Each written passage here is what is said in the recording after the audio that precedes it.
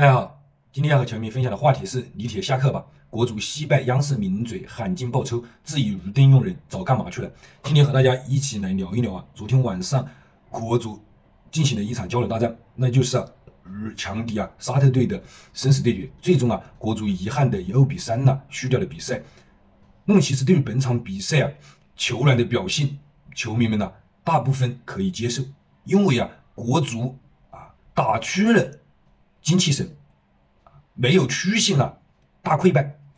而且呢，国足在本场比赛非常有机会啊拿下胜利，但是最终啊遗憾输球，确实啊让球迷们呢啊非常的痛心。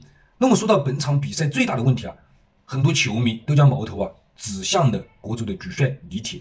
比赛结束之后啊，大批球迷涌现到这个啊李铁的个人社交媒体下面进行留言，高喊了。李铁请下课，说明了这个李铁的排兵布阵啊，遭受了球迷的广泛质疑。而且呢，在比赛中啊，当这个李铁进行啊换人调整，派上洛国富之后啊，那么呢，这个洛国富很快就完成了进球。那么这个时候啊啊，这个央视的解说嘉宾呢啊，直接了啊非常罕见的啊这个动了真情啊啊愤怒的说了，早干嘛去了？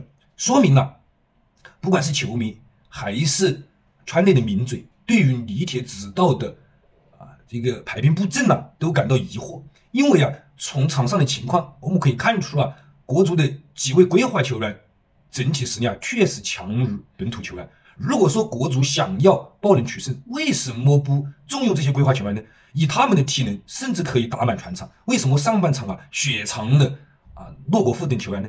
那么阿兰、洛国富啊这些球员呢都。有很强的个人能力，为什么李铁只给他们呢短暂的上场时间呢？确实啊，这个李铁的鱼灯用人呢，啊，引发了大家的广泛质疑。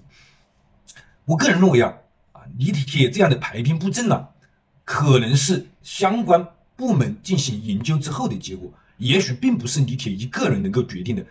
啊，主要意图是什么呢？我觉得呢，可能还是希望以。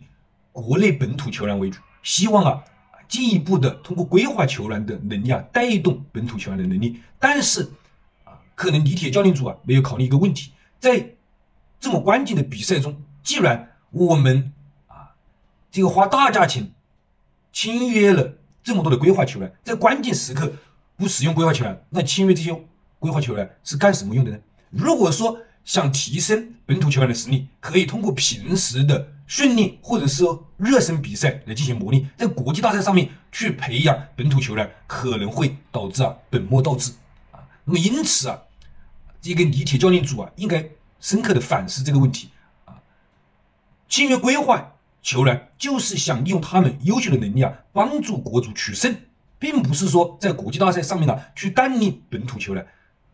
因此啊，对于规划球员的使用啊。国足教练组应该要更大胆一些，不要拘泥小节，也不要害怕外界的舆论。很还有部分球迷认为啊，可能李铁会担心了。如果说全部依靠规划队员取胜的话，那么也许啊，国足啊会再一次遭受球迷的嘲笑。其实我个人认为并不会这样，因为国足本土球员实力过弱，才会引进规划球员。采用规划球员的目的就是希望规划球员能帮助国足取胜。利用规划球员取胜，这应该是啊情理之中的事情。因为你不用规划球员，你无法取胜。那么因此啊，对于本场比赛的失利啊，李铁教练组啊应该深刻的反思，否则的话呢，这个球迷的质疑声、呐喊声呢是无法停息的。大家如何看待李铁的执教风格和执教能力呢？欢迎大家留言，我们下次再见。